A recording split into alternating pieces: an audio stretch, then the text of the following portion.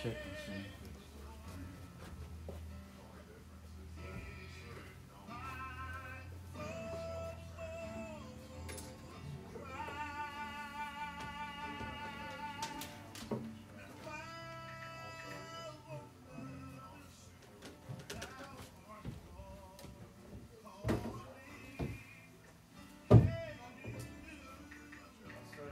All right, we think we finally got everything started here.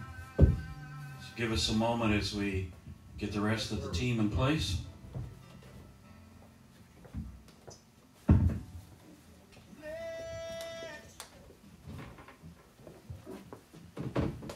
Team is checking right now to see if everything is broadcasting correctly.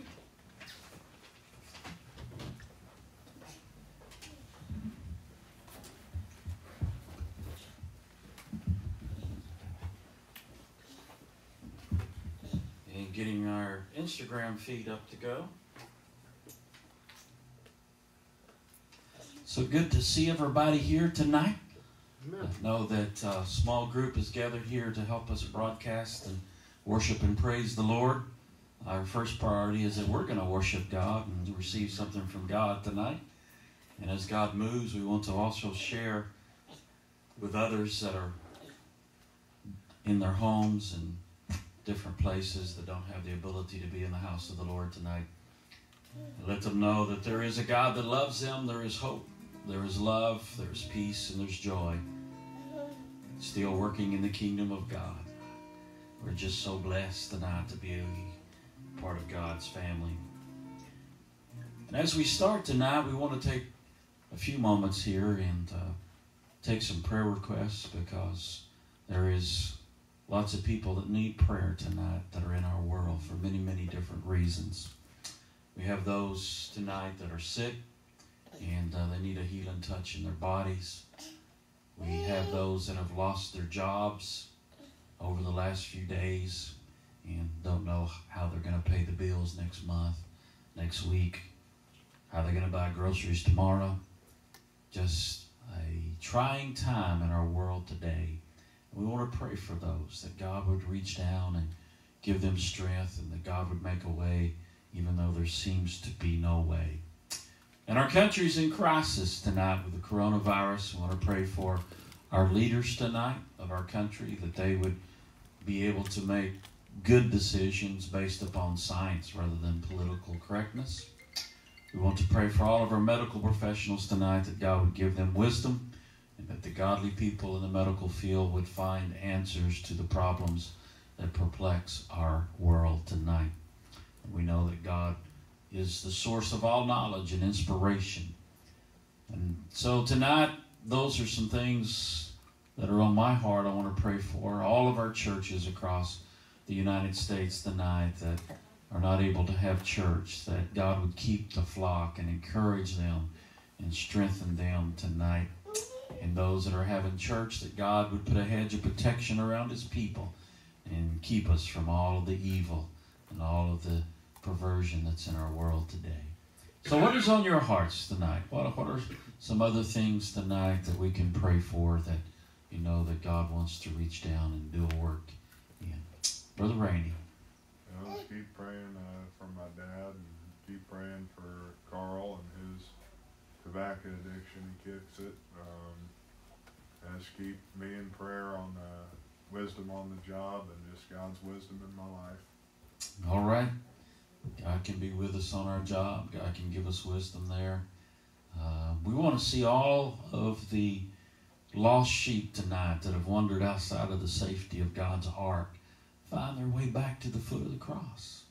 There is a place, a place of repentance, a place where that they can come and, and find uh, the way back that Jesus would be able to be the Lord and Savior of their life tonight. And that's what we want to pray that God would allow the times that we live in to touch these people and bring them back to the cross. Anybody else tonight? Amen. Brother Jonathan. Continue to pray for revival and that God would reach to hearts and souls through this time. All right. About everybody to stand with us. Dear God, we come to you in prayer tonight.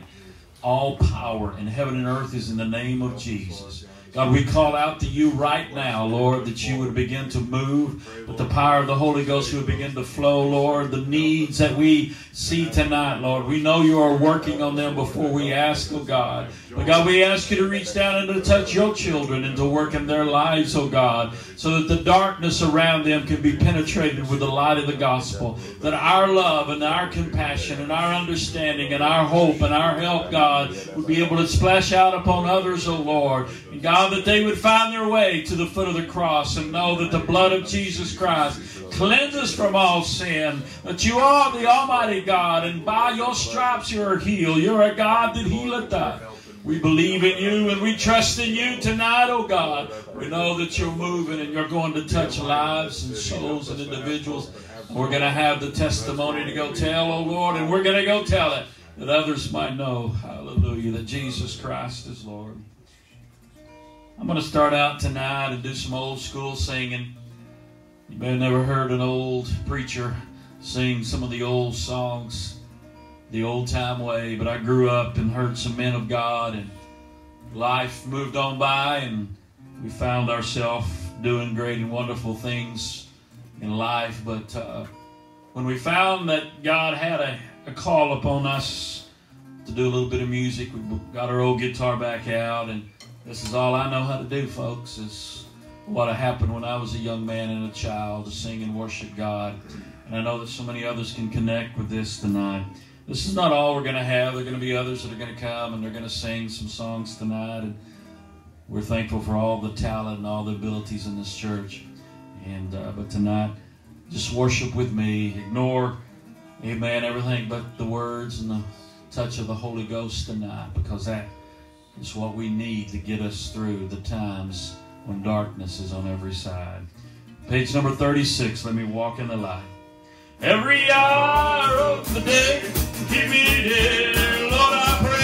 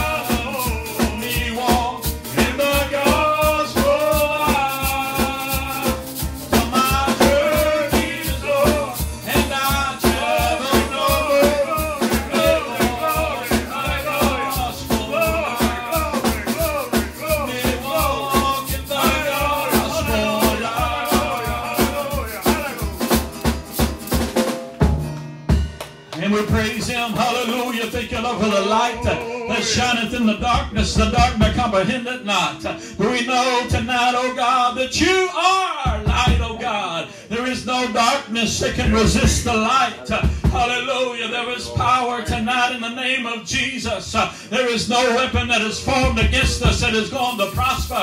We've got the power of the name of Jesus tonight. Thank you, Lord, for the power of Jesus' name. Hallelujah.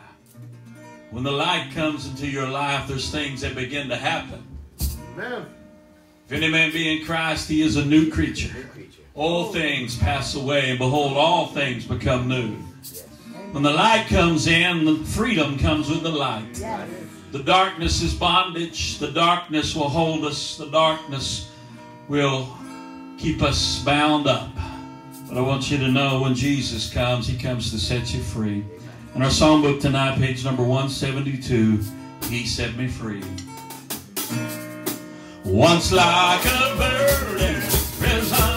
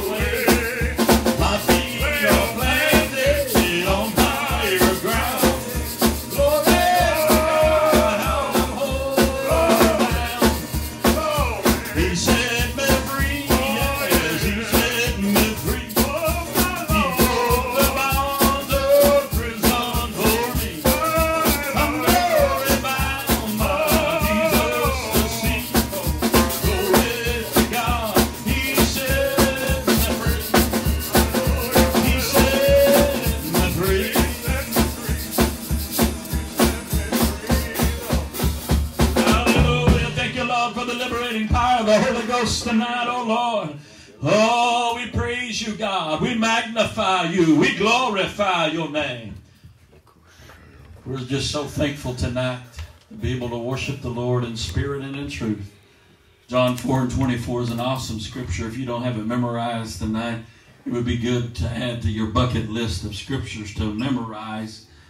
For God is a spirit, and they that worship him must worship him in spirit and in truth. When we know who Jesus is, then we begin to worship the King of Kings and Lord of Lords, the Almighty God.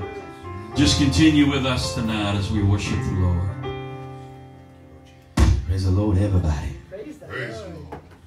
Amen. Certainly good to be in the house of God today. That's right, amen. Amen. Brother Bless, I'd rather be be. David said, I was glad when they said unto me, Let us go into the house of the Lord. Thank you, Jesus. Amen. We're going to worship the Lord together. Give God the glory and the honor that is due his name. And, uh, I mean, one of the things that David did was that the Ark of the Covenant was the place where the Spirit of God resided. And then when the Ark of the Covenant was brought and came into Jerusalem, his, it was his home, it was the place where he lived. The Spirit of God was brought where he lived. The Bible said that he danced before the Lord. Right. Amen. The Bible says that as he was bringing the Ark of the Covenant to Jerusalem, that every seven paces he would stop, he would dance and worship before the Lord as they brought the Ark of the Covenant to Jerusalem. Now, when he got to Jerusalem, he began to dance. The Bible says he took off his royal robes and he danced right next to his servants and praised God because he stripped himself of his royalty and said, Hey, I'm no better than you when we're before God. Amen. It doesn't matter where you come from, who you are, where you're at. That's when we come before God, we're just another servant of God. Amen. The Bible says that when he began to dance and worship and praise God, that he wasn't worried about what was going on around him. There was a lady sitting up on the on the balcony if they looked at it, it was his wife, Michal, and she was the wife of a, or rather the daughter of another king. When she saw him, the Bible says that she she despised him. She said, I can't understand. You went and stripped you all, all of your royalty and stripped yourself of all of that and, and behaved like a fool in front of all these people.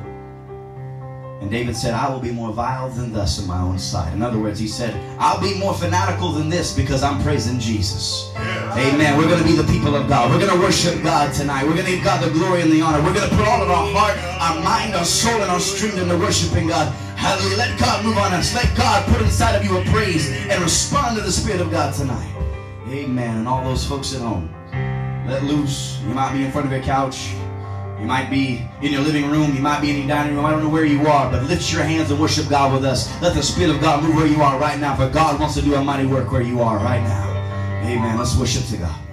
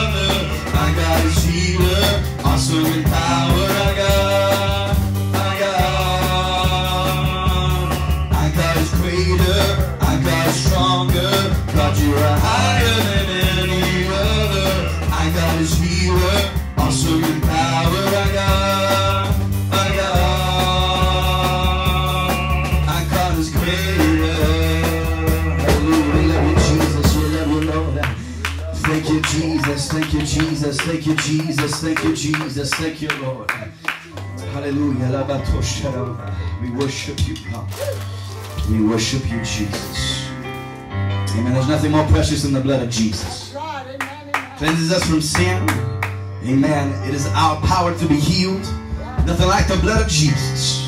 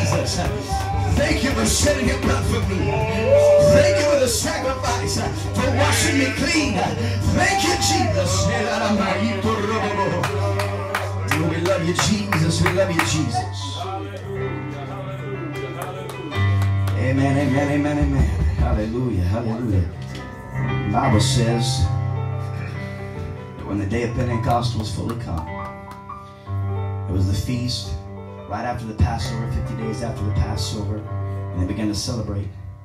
The Bible says that when the day of Pentecost was fully come, they were all with one place, one accord, all with one mind. The Bible says there came a sound from heaven as of a rushing mighty wind, and it filled all of the house where they were sitting. There appeared in them cloven tongues, individual tongues of fire, and it sat upon each of them, and they all began to speak with other tongues, languages they hadn't learned before. And the tongues sat upon each of them, and they began to speak with their tongues as the Spirit gave them utterance. Amen. Others there thought they were drunk and said, These men are drunk. But Peter got up and said, These men are not drunk as ye suppose, seeing but it's the third hour of the day. But this is that which was spoken by the prophet Joel. That in the last days saith God, I will pour out my spirit upon all flesh, and your sons and your daughters shall prophesy. Amen. And he got up and he began to preach and said, Hey, this is this is something that you need. Amen. And he gave the plan of salvation. Hallelujah. But we're going to sing to the Lord. If there's anything you need, I want you to know that Jesus is here for you. Amen. I, I don't know where you're at. Those people that are watching online, I don't know where you're at right now, but I, I want you to understand that if you need something from God, the door is open.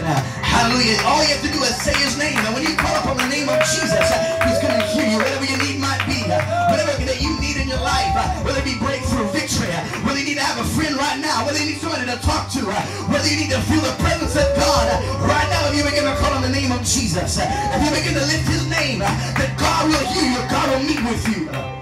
Amen. Oh, Jesus.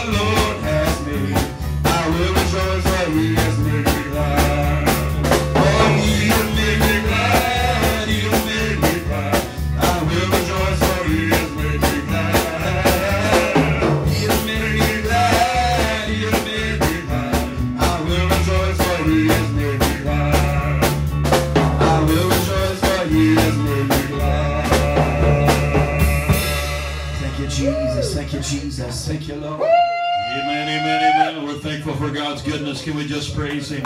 Hallelujah. Truly, oh God, you have been good to us. We thank you, Lord, for your goodness and your mercy, oh God. Blessed be the name of the Lord today.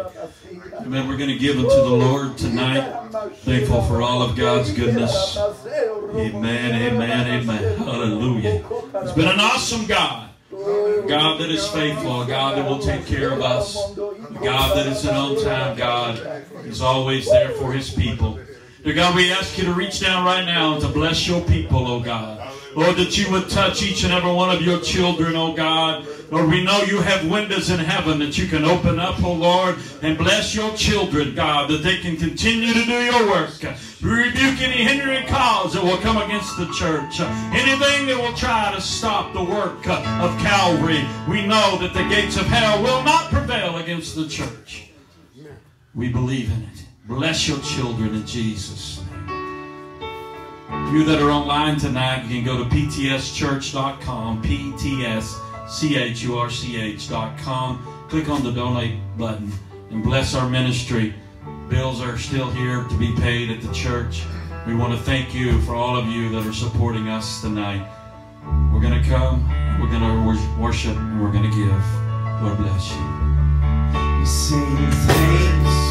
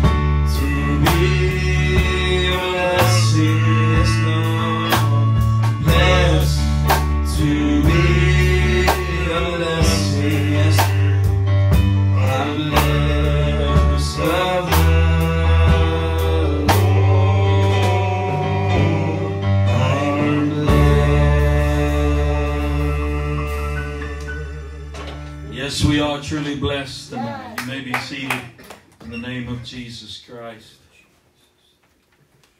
It's a little bit before my time, but the way I understood it, we had a great leader in our world that used to have a fireside chat. Lord. And just take a moment and address the issues of the moment and of the hour. I learned or memorized Psalms chapter 3 as a young boy in Sunday school, and it has served me well. There's just so much in this verse that you can literally spend 10 weeks teaching it. I've done it in this chapter. But for just a moment, I want to talk about Psalms chapter 23. If you could turn in your Bibles and find that. Just a little fireside chat on a cold, dreary afternoon here in Seminole, Oklahoma. The Lord. You know, the, there are two foundational facts in the universe there is a God, and me and you are not Him. The Lord, when we find out who Jesus is, we will be like Thomas, my Lord and my God. The Lord is my shepherd. Here, the psalmist David is taking ownership and saying that he is my shepherd. I am going to be one of his flock. I am going to be one that is willing to be tended to by the shepherd. He didn't say, I am a goat and I'm going to range in the mountains and kick over the buckets and kill the trees. He said, I have a shepherd that is the Lord. I want you to know tonight when you're under the care of the shepherd, Jesus Christ, and he's ordained and put the pastor in the church as the under shepherd, the one that is taking care of that part of the flock. Then you can realize that even though David made a bold statement, it can become a true statement in your life. He said, I shall not want. Now, I realize there's people in our world today that want a lot of things.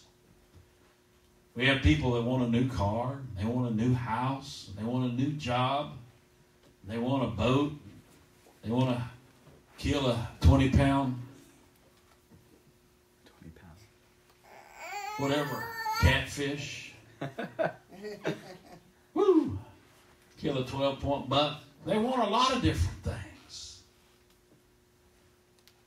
But when the Lord becomes your shepherd and you begin to be a sheep and you suddenly say, Lord, I want your desires to be my desires.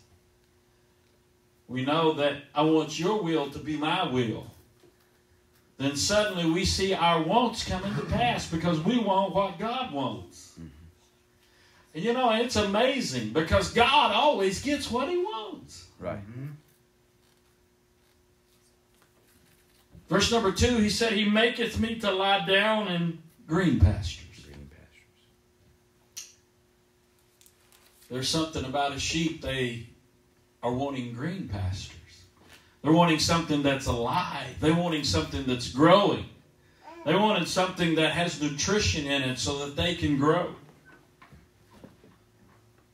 Tonight, you need to be in a church and in a place where there is life and growth and where there is spiritual nourishment that will give your soul something that will enhance it and grow it. And that the kingdom of God is active and alive. The kingdom of God is not meat and drink, but it's righteousness, peace, and joy in the Holy Ghost. He leadeth me beside the still waters. There's something about it when you are wanting a peaceful setting. You're not looking for Niagara Falls, are you? Niagara Falls is the kind of water that brings excitement. You try to get in a barrel and go over it. But when you're looking for a peaceful setting, you're wanting still waters. The Babylon Brook. Because it's in that peaceful, still water that you find that good, clean water. The water that is a cleansing and that water that will refresh and renew you. Each and every one of us during this time of turmoil, where there is the raging mighty Niagara falling around us, can find that brook where that we can be renewed in our Holy Ghost. Where that the Spirit of God can speak peace into your universe. And just like Peter was sinking as he began to walk out to Jesus, you may feel like that you're sinking in the raging waters around you. But if you'll just reach out to Jesus tonight, no matter where you are, and say, My Lord and my God, I give my life to you. He restored my soul. Restoration is a beautiful thing. We've had a lot of things in life that we've tried and it didn't work.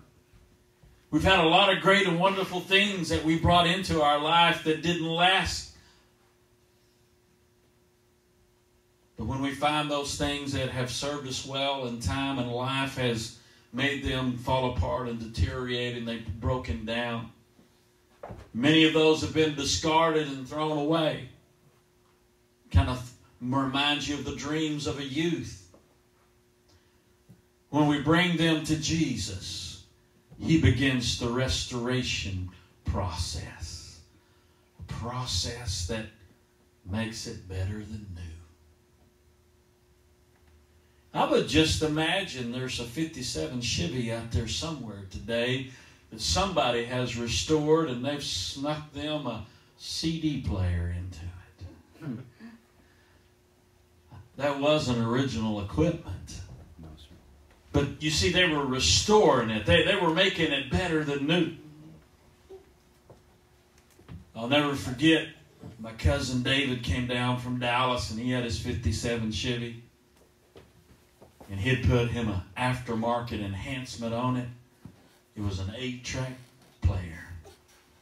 One day, my brothers and my older cousin was out gallivanting around the, the country. Me and my young cousin went up to that 57 Chevy and we began to play that eight track tape player. That was some really high tech equipment 50 years ago.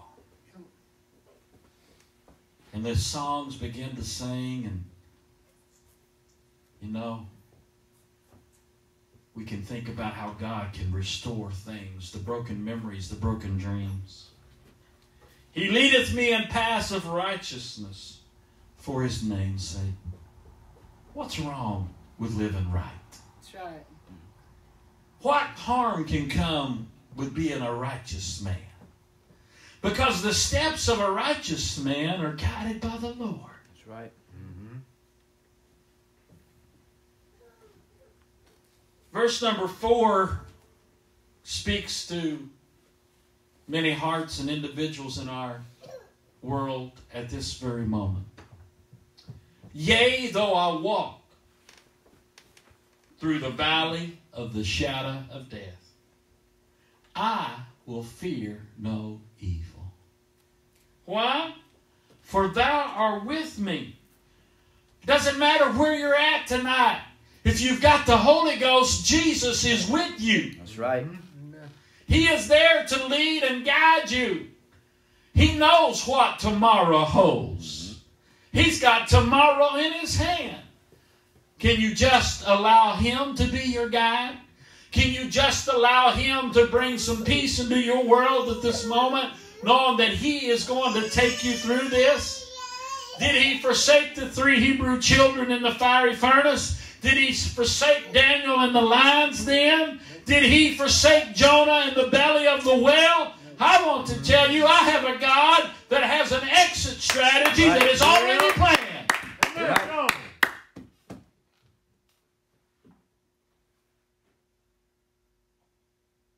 He says, Thy rod and thy staff, they comfort me. Mm-hmm. Now, that old shepherd crook is used a lot of times as an instrument of correction. That's right. But it is a comfort to know that if something is not right, Jesus is going to make it right. Mm-hmm. There's nothing worse than being in a situation where things are messed up and there's nobody going to correct the problem. Mm-hmm. And you know that the problem is just going to continually be multiplied it's going to go greater and greater. We serve a God tonight that has the best reset button in the world. I think He's pressed it. Well, hmm. He said, I'm going to set things back right again. Mm-hmm. He says in verse number five, Thou preparest the table, talking about our good shepherd, before me in the presence of my enemy. There's a lot of people that didn't have a need for the church and they didn't have a need for God because their gods had served them well. I want you to know the gods of this world has failed them tonight, but my God has not failed me. That's right. Yeah. My God is the same yesterday, today, and forever. He has promised that He is perfecting a church and getting it ready so that when the trumpet sounds, we're going to say a hallow over here and a hallelujah over there. come on. Amen. Meanwhile, we reach out to a world and say, there is hope in Jesus. There is confidence in Jesus. Right. There is peace in Jesus. Right. When the Lord called us to Seminole 13 years ago, He told us, name it Peace Tabernacle because your church is going to be a place of peace Right. for a troubled world. Yeah. I feel peace in the house tonight. Amen. Amen. Thou anointest my head with oil. The anointing. It's part of the process. They would take that sheep and they'd rub that olive oil in their skin. And suddenly all of the pests would leave them alone. I want you to know God will come in He will begin to allow His anointing to flow over us. He'll begin to work in our life, and we see the miracles that come as a result of it. In verse number five, he concludes, My cup runneth over. So, what does that mean? That he has a shaky hand and he spills the coffee when he pours it? no, I don't think that's what he means. Even though I've drunk a few cups of coffee that were so good that I was willing to drink the runoff that come out of the saucer. But what he's trying to illustrate is, is that God's blessings are so abundant and so great, just Right. like his mercy, Yes, sir. that he doesn't have to worry about wasting them. Come on. He just fills that cup up and he wants to make sure our cup is full. Right? He wants to make sure we have all that we need to be an overcomer. Right. Come on. So he fills it up and allows it to run over the side. Yes, sir. And you may be thinking about those that are around us that's never had their cup filled up before. Well, And maybe a little bit of splash over into their world. well, Come come on. on. And they will be blessed Yes. as a result of the blessings that have flowed into our life. Yes, sir. He concludes in verse number six Surely goodness. And mercy. In our modern world, the word good don't mean nothing. It's unfortunate that our language has destroyed the meaning of the word good. Almost, when somebody says something is good, it's a polite way of them saying it's sorry. Well, But that's not what God means when He says it's good. Think about this God had created the earth, and He had formed all the oceans, and He had placed all the animals on it. That kind of boggles the mind, somebody being able to do all of that in six days. And when He gets done, what does He call it? He said, It's good. it's good. Your awesome is pale to God's good.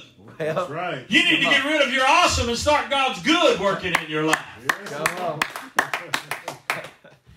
When God brings the good in, there's nothing left to describe it. And God's mercy. You know what? You may have made mistakes. You may have taken the wrong road. You may be confused tonight. But God has mercies. Every day, His mercies are abundant. He'll allow you to make it to a place where that you can begin to do it right.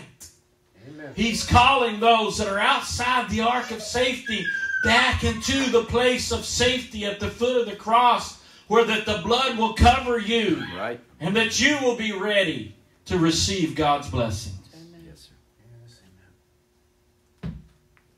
And he concludes with, I will dwell in the house of the Lord forever. Forever. Yes, sir. I want you to know there's no better place. There's no better place in the world than the house of God. Right. Over the last three years, I have traveled around the United States of America and attended many conferences and meetings. And I have told many of them what I'm going to tell you tonight. The altar in the house of God is a place like no other. Tonight, you may not be in God's house and you may have to build your own altar. But you see, an altar is a place that's dedicated to meeting God. And I know something tonight. When you come to Peace Tabernacle, God will meet you at these altars because God has met everyone that I have seen come to these altars. He has met with them.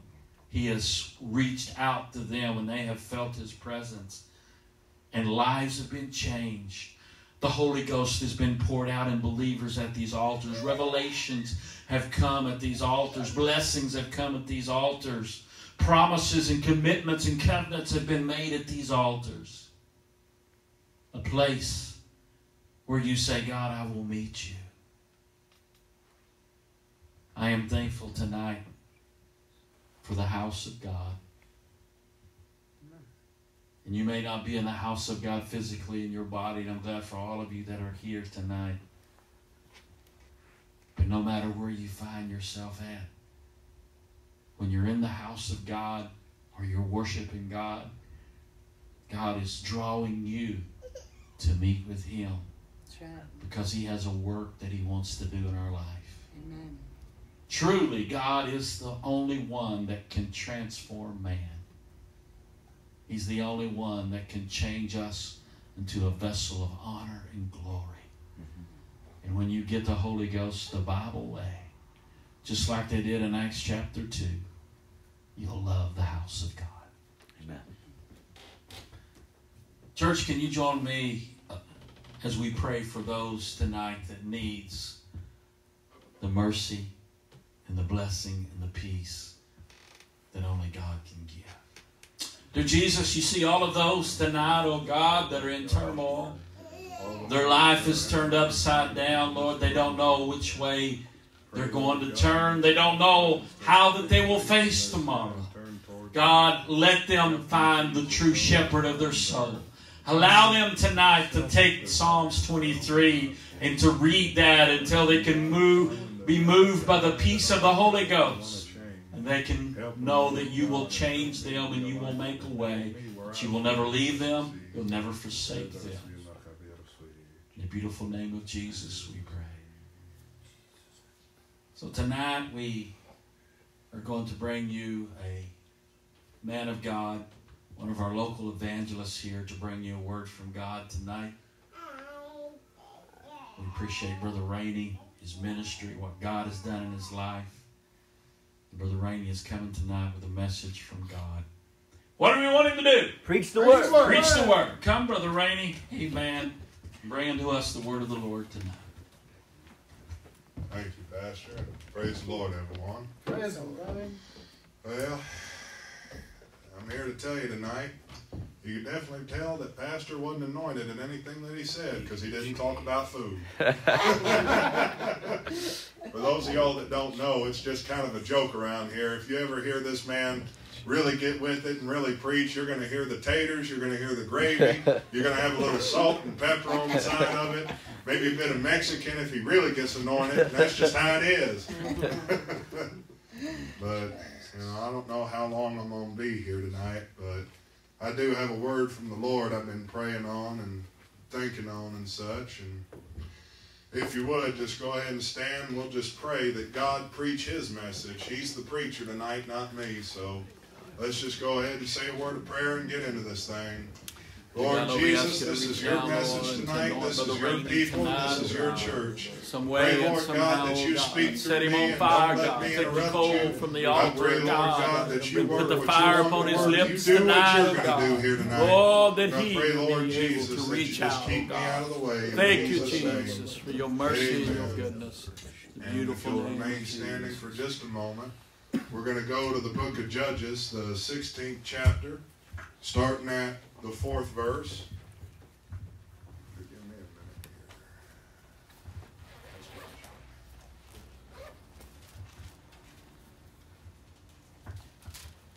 Starting at the fourth verse. And it says, And it came to pass afterward that he loved a woman in the valley of Sorek, whose name was Delilah.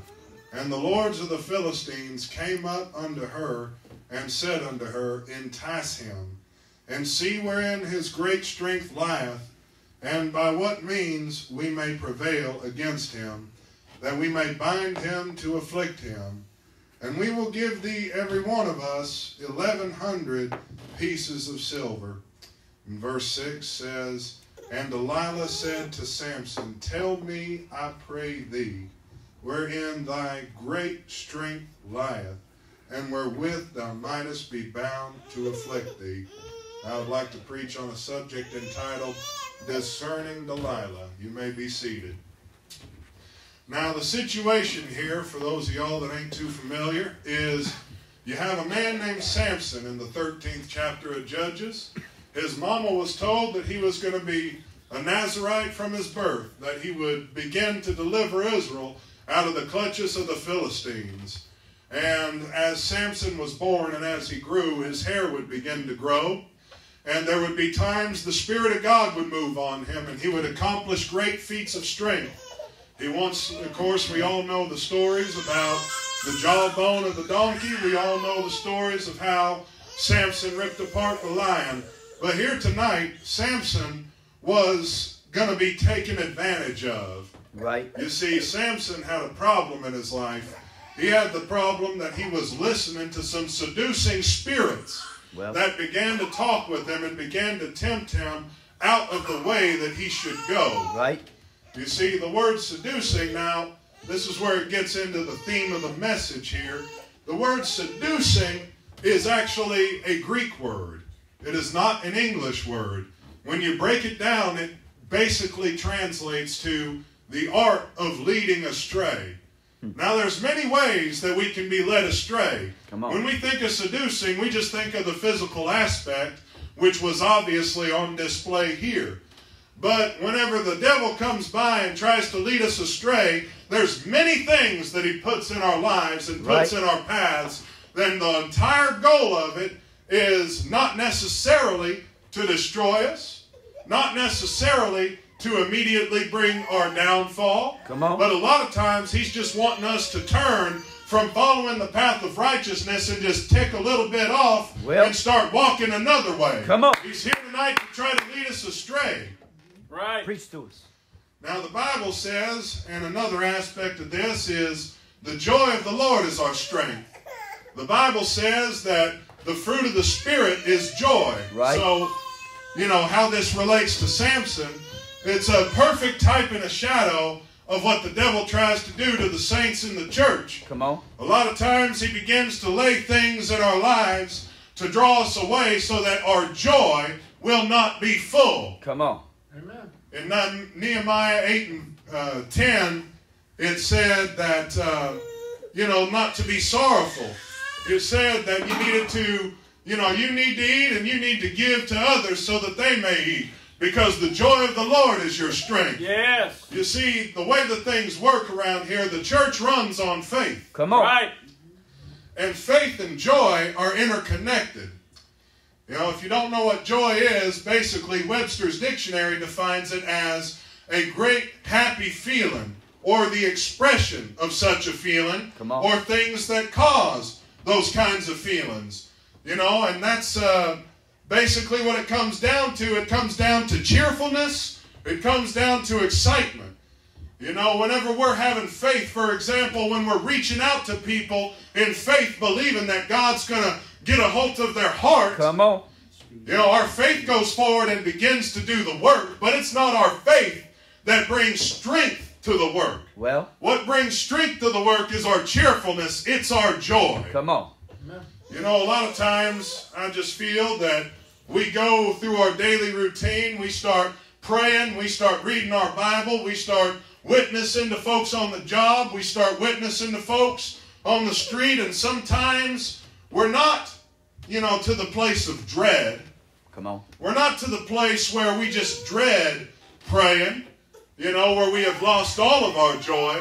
But I feel as though tonight that the devil is trying to put a stumbling block in front of the church and begin to get our focus off of God and off of His work and begin to focus on other things. Well, All right. I'm here tonight that not only could your joy be present, but that your joy will be full. That Come you on. can go forward today and you can witness to people with strength. come on.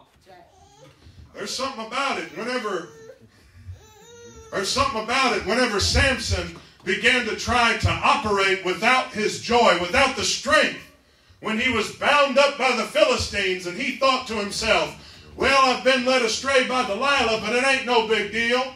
It ain't nothing. I'll just get back up at, as I always have at other times." he right. thought that he would be able to get a hold of the joy, but he was already led astray. Come on. Be it by sin or be it by attitude, be it by distractions in the physical, he was led astray and lost his strength. Come on.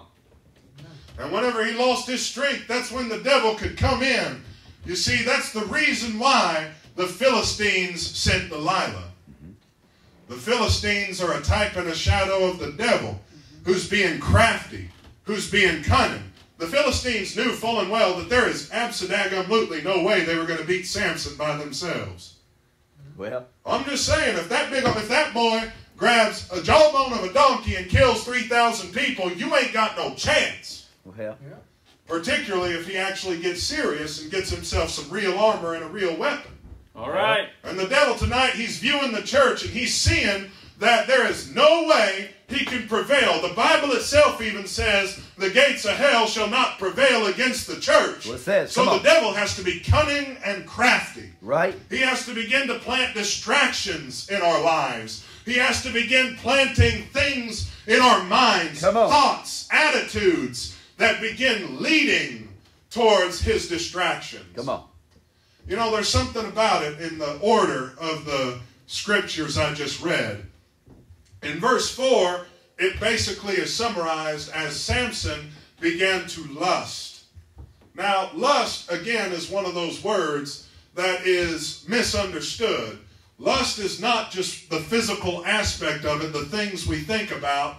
You know, if I look over and I see a candy bar and I really want that candy bar, I'm lusting after that candy bar. Mm-hmm. You know, if I'm really wanting money, I'm lusting after it. It just basically comes down to a strong desire for something. Mm-hmm. And the reason why this is important is the Bible itself says that every man is tempted when he's drawn away of his own lust. Whenever lust uh, conceives, it brings forth sin. When sin conceives, it brings forth death. Right, amen. Delilah couldn't have seduced Samson if Samson wasn't lusting after her in the first place. Well, All right. come And a lot of times, the reason why we allow things to distract us is because we begin to lust after things. Well, come on. You know, well, I just kind of, I've had a hard day at work. I just kind of want to come home and relax a bit. Yeah, I know I need to pray. Yeah, I know, and I'm, I got to do this, I got to do that, and all that. But you know what? I just kind of want to sit down for a minute, and I just want to veg out, and I just want to forget about everything. And then next thing you know, you're watching YouTube or something, or you're playing on your phone or something like that. You're just sitting down enjoying Delilah. Well, And many times you'll be there for several hours and it'll be almost time to go to bed. And you're just like, well, Lord, I guess I didn't pray like I should have today. But Well- oh, well, there's always tomorrow. well, come on. I'm here to tell you today, there's some Delilahs the devil's trying to put in our lives. Come on. And not every Delilah is sin. That's right. All right. Oh, yeah, we all know sin separates from God. Right. We all know that sin will destroy us. Right. But there's some things that aren't necessarily sin. Come on. But if it's bringing attention away from God, Come on. if it's taken away from your spirituality, then eventually it's going to begin taken away from your joy. Right. And you're going to start trying to pray one day, and it's going to be a drudgery. You're going to begin to say, Oh, why do I have to pray? Well, Oh, why do I have to read my Bible? I just don't want to do it no more. come on. You're preaching. We all go through some of those times. I've been there, I've done that, Amen. you know, but we got to rise up out of that because there's something about it. Whenever we begin to be excited Come on. about prayer, then it's no longer a burden. Come on. Yes. When we begin to pray and seek God and say, God, fill my life with your joy and take away all the Delilahs that are going to try to take it from me, then we begin to have an easier time living for God. Come on. You know, in uh, Psalms 28, starting at verse 7 in the Bible, it says,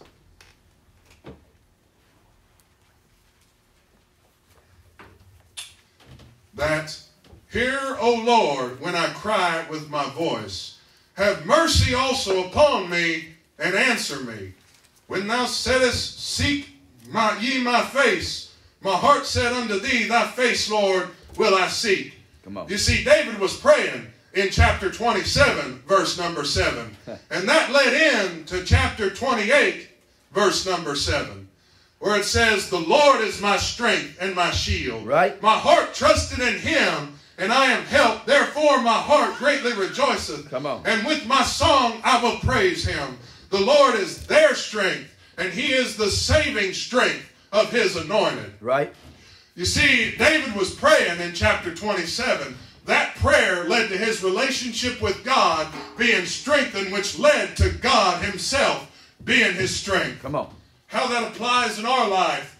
The reason why the devil wants to send his Delilah is because he wants us to separate ourselves from God. Come on. You see, a lot of folks, they don't like churches preaching on separation. But I'm telling you right now, either the church is going to preach on separation or the world's going to tell you to be separate. That's true. You know, hey, folks are just like, oh no, the world's just all about doing whatever you want. No, it's not. That's Come true. The world's all about being brainwashed by the devil and going into sin, becoming bound by addictions. Right. That's what the world's all about. That's the world's separation. God's separation is turn away from the Delilah that is deceiving you. Right. Turn away from your alcohol, from your cigarettes, from your cussing, from everything in your life that is deceiving you and taking away your joy, trying to destroy you. Right? It was Delilah that began to deceive Samson. And whenever Samson believed her and began to share with her the secrets of his heart, the secret of his great strength, verse 6, whenever Delilah began doing that, is whenever that capturing of Samson was able to take place. Come on. And you know, that's that separation I was talking about. I feel like I'm all over the place, but I'm just trying to follow God here. It's all right. Yeah. Go ahead. But that was the separation I'm talking about. Samson was separated from the people of God. He was separated from his strength. In Judges 16 and 21, it talks about how Samson, the great and mighty warrior, more than a conqueror, was brought down to be a slave to the Philistines. All right. That's right. And you know what? Where was Delilah when Samson had his eyes plucked out? oh, God. Where was Delilah when Samson was grinding at the mill? Where was Delilah whenever they chained him up to the pillars and they began to mock him Well- and they began to spit at him and they began to beat him and they began to forsake his basic needs as a human being? Well- Where was Delilah? Well, come on. Whereas before she was sitting down with Samson's head in her lap, just saying, Oh, don't you worry about those Philistines, Come. Samson. Come on. Don't you worry about your mission of God. Don't you worry about living holy. Don't you worry about living righteously. You just sit right here and let Delilah take good care of you. Well, All right. You just sit right here and you get comfortable. Everything else just don't matter. come on. You know, I think a lot of uh, what probably what conversations would have happened between these two that wasn't recorded. I wonder if there was a time when Samson was walking down the street, maybe had Delilah on his arm, and he was looking over and saw a Philistine smacking an Israelite upside the face. And I believe that Samson was a fighter. I believe that Samson had something deep within himself as a man that he's going to try to protect those he cares about. Right. Right. So maybe he's walking down the street one day and he sees this happen and something rises up in him and he says, Oh, I can't stand for none of this. That's my brother that he's beating on. Well- That's my sister that dirty Philistine is touching. And then Delilah just says, Oh, Samson, don't worry about any of that. They'll be fine. You just need to spend some more time with me. Well- you don't need to worry about any of them. Come on. All right. But it's my brother. That's that's that's someone that I care about, someone I love. That the devil is just stomping on him. I got to do something, Delilah. No, no. You just calm down, Samson. Just calm down. Everything will be just fine. Look, you know the Philistines already done beating them anyway. They're walking away. Why, why go over there and do that? Mm. All right. Come on. Mm-mm-mm. But you know, as that relates to the church, there's another point I kind of want to bring across here. As it relates to the church, also, you see, Delilah, whenever she sold out Samson for the money, she got what she wanted, and she really didn't care what happened to Samson. You know, she really and truly did not need all of Samson's strength to leave him. Let me explain what I mean. The Bible says, Samson, tell me the source of thy great strength. Right. There's a difference between the great strength and the regular strength. You know, Samson still had his regular human strength. Right. Right. He was still able to walk. He was still able to do some things. You know, we don't know how strong he was in himself. We don't know. Right. Maybe he was a bodybuilder. Maybe he was an average person. You know, but there were some things he could do, but he couldn't do the things he used to. Right. He couldn't fight off those Philistines. Right. Right. And so, as it relates to the church, you know, and our joy being our strength, you know, the devil doesn't need all of our strength to be gone Come on. to destroy us as believers or as Christians. Come on. Hey, truthfully, we all know that the devil wants everyone in the church to die lost. We know the devil wants to destroy all of the church, but you know what? The devil is a finite being. He only has so many resources at his disposal. That's true. So he's fine if some people, you know, they make it to heaven. You know, it was something I was praying about and I was thinking about as uh, I was praying about this message. A situation like this say someone dies and they're in the Lord and they're on their way up to glory and they just said, huh, take that, Satan, you didn't get me. And Satan's just like, nah, fair enough. Fair enough. You can't get everybody. I know that. I'm the devil. But you know what? There's no one to take your place. Well, come on. That's still one less saint that I have to deal with. Come on. I may not have destroyed you, I may not have caused you to die lost, but I took away enough of your joy so you couldn't be effective Come on, like preach. you should have been Come on. effective Come on on, this preach. world. And now the church has suffered a loss Come on, as preach. a result of it. So who's really winning, boy? Come on.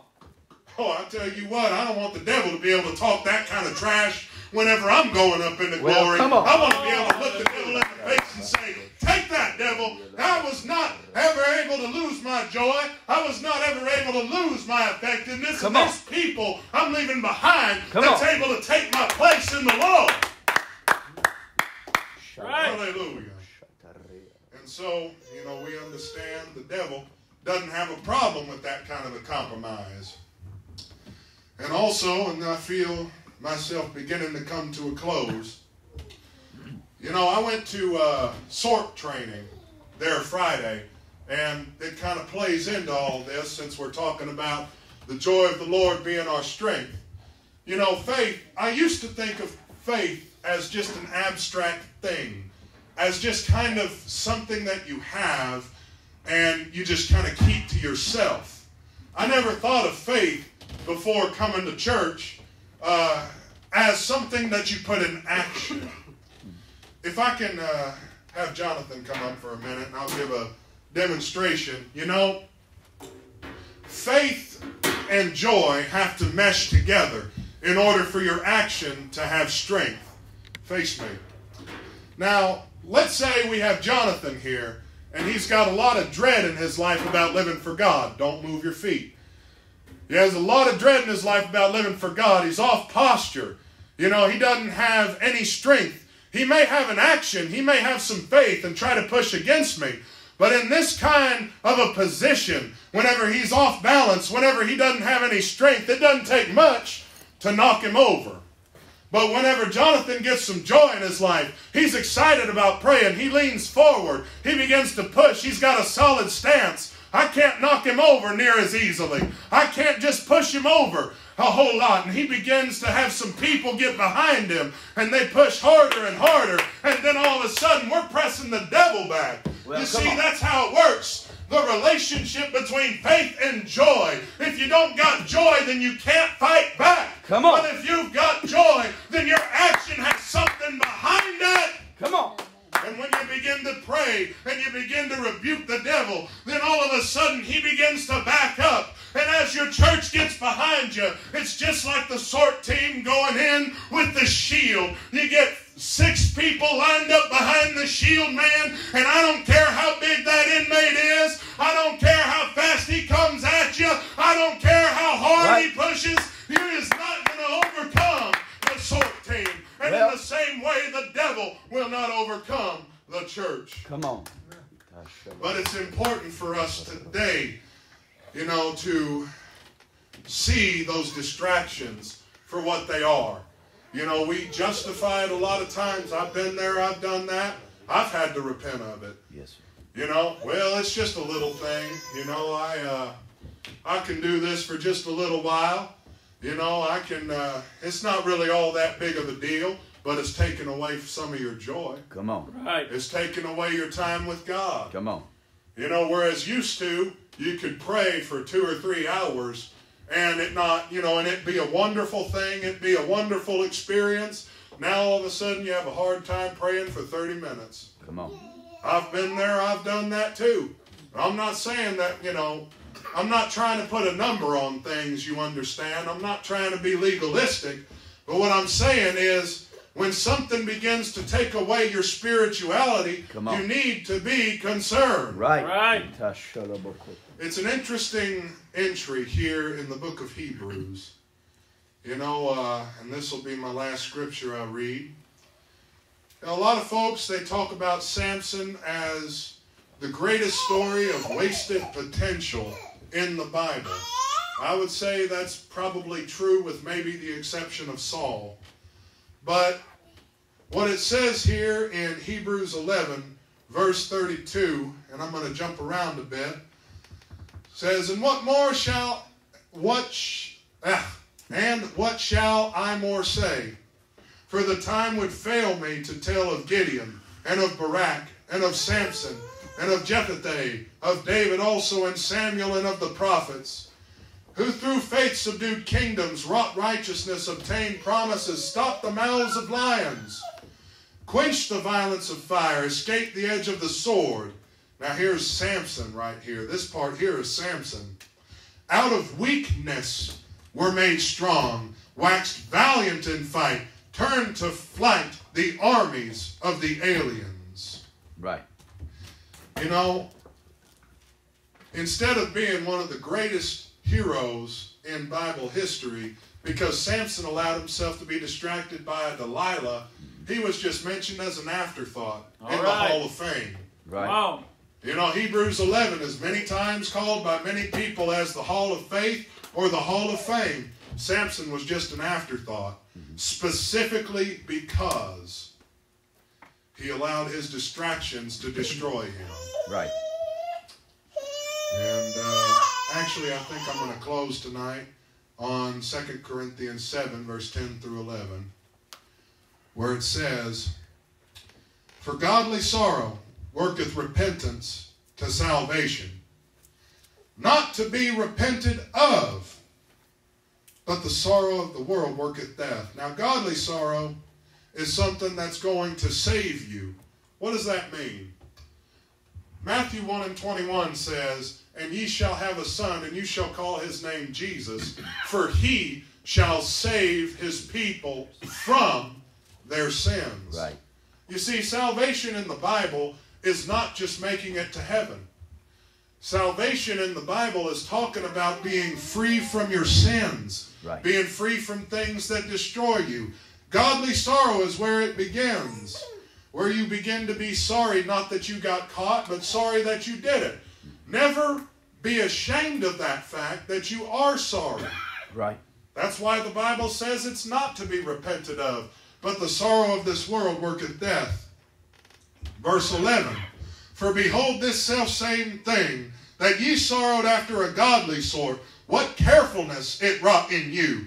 Yea, what clearing of yourselves. Yea, what indignation. Yea, what fear. Yea, what vehement desire. Yea, what zeal. Yea, what revenge. In all things ye have approved yourselves to be clear in this matter. You see, after godly sorrow works repentance to salvation, then the joy comes right on back. Right. Whenever Samson was standing there and his hands were upon the pillars and his hair began to grow back again, Come on. that's a type and a shadow of repentance. Right. If you've allowed distraction or you've allowed sin to creep in your life and it's taken away your strength, it's taken away your joy, then you begin to put your hands on those pillars and you begin to repent before God. Let your godly sorrow be turned from sorrow to joy and allow the strength of God to enter back into your life again.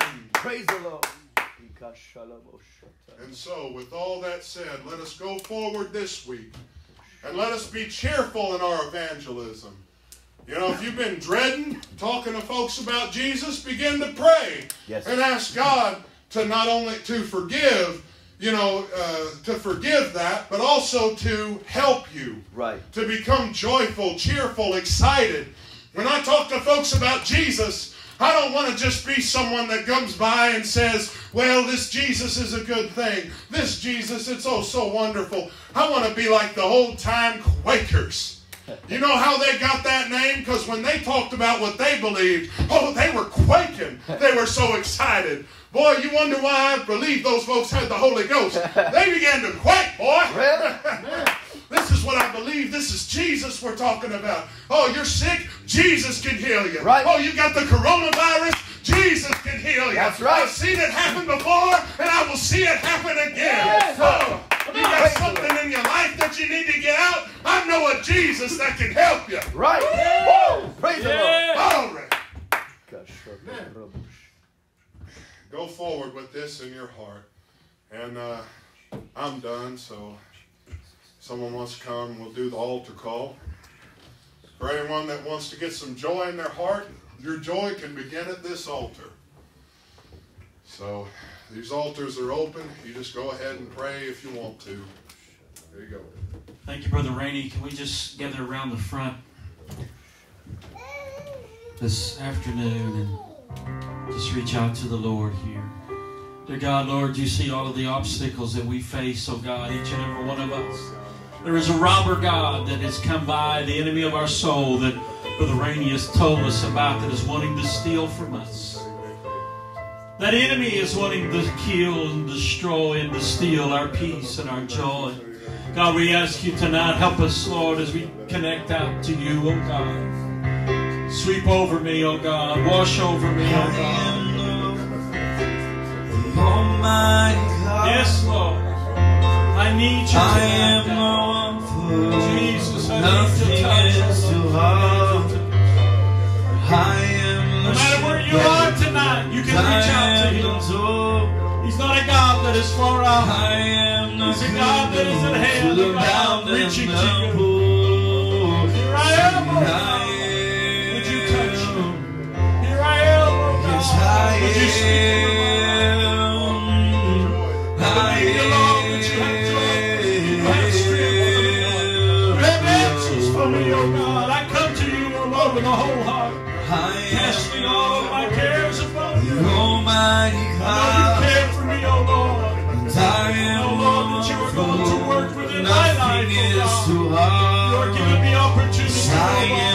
Shepherd, Opportunity. I am. I am the good news to the bound and the poor. Yes, I am. yes, He is. I am. I am the Lord. Whatever it is, whatever it is, He can fill it. uh, Whatever the need is, He can take care of it. Yes, God, let your spirit fill this place right now. God, testify in the spirits uh, and in the hearts. Uh, mighty God, testify in the souls right now, my God. Uh, I pray that right now in the name of Jesus, uh, that you would begin to move and to touch. Uh, mighty God, that the love of God would begin to flow and touch deeply uh, into the spirits, uh, into the hearts of people. Uh,